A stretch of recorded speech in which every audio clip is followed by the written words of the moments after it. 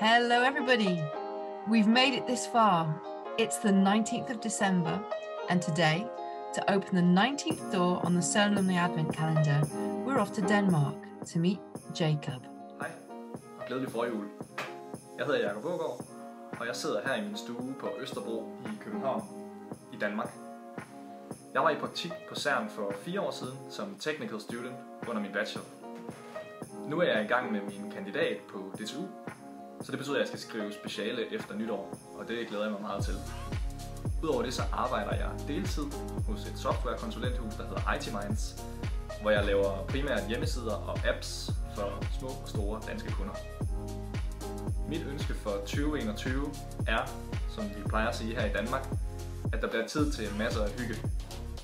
Så glædelig jul fra Danmark, og så ses vi på alumni.cern